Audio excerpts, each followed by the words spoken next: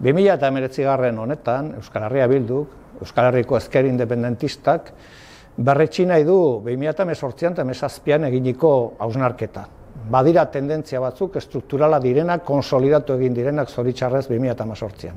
Zeintzu dira hauek? Ba, gure ustez, badira bi nagusiki, beste batzu baldin badira ere, nagusiki azpimarratu behar direnak.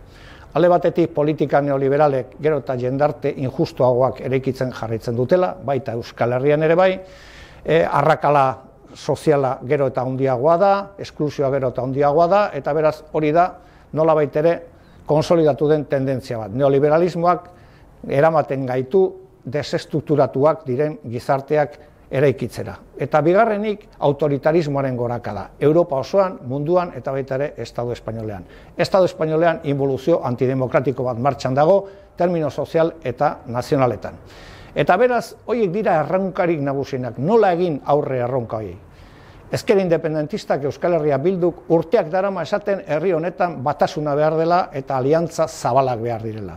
Eta hori egin daiteke bi eratara, termino eraikitzailean, gu planteatzen dugun bezala, ero nola baitere estadu involuzioak inposatuta. Erabaki behar dugu zer egin nahi dugun, baina nik eta guk uste dugu, imposible izango dela aurre egitea erronka guzti hauei batasunik gabe. Batasuna noren artean antiautoritariak, herritarrak eta euskal burujabetza defendatzen dugun guztion artean. Bigarrenik, politika neoliberalak borrokatu egin behar dira.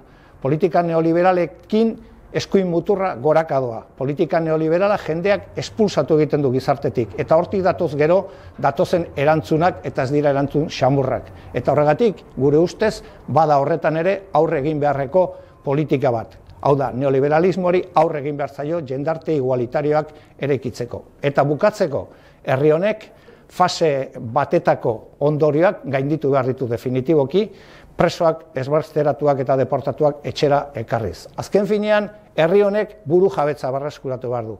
Buru jabetzarik gabe ez dago gure jendea babesterik eta hori da erronkari nagusiena.